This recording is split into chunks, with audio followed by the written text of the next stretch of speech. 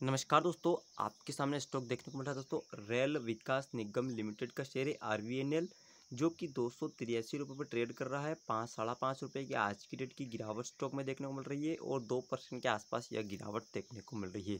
Stock एक यहाँ पर स्ट्रॉन्ग सपोर्ट बनाता हुआ नज़र आता हुआ देखने को मिल रहा है, जो कि दो सौ बयासी रुपये पर स्टॉक का सपोर्ट एंड रेजिस्टेंस बन सकता है।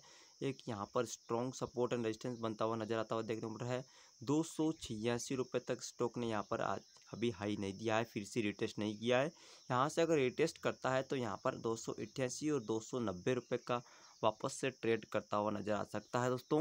और यहाँ पर एक शॉर्ट टर्म में टारगेट दो सौ पचानवे रुपये तक जाने की संभावना स्टॉक बना सकता है। शॉर्ट टर्म टारगेट यहाँ पर दो सौ पचानवे, दो सौ नब्बे और दो सौ पचानवे शॉर्ट टर्म टारगेट है और लॉन्ग टर्म टारगेट में वापस से तीन सौ रुपये तक स्टॉक जाने की संभावना बना सकता है। बाकी यहाँ पर अगर नीचे की तरफ़ मूवमेंट करता है तो तीन सौ दो, सॉरी, दो सौ अस्सी और दो सौ पिचहत्तर रुपये तक स्टॉक रिटेस्ट करता है डाउन ट्रेंड की तरफ़।